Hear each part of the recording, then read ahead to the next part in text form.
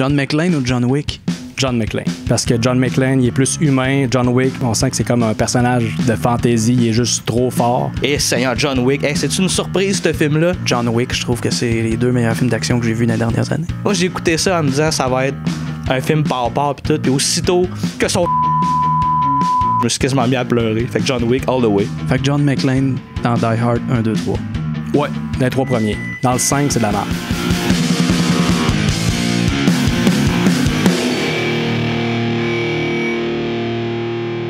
Ton film de Kubrick préféré?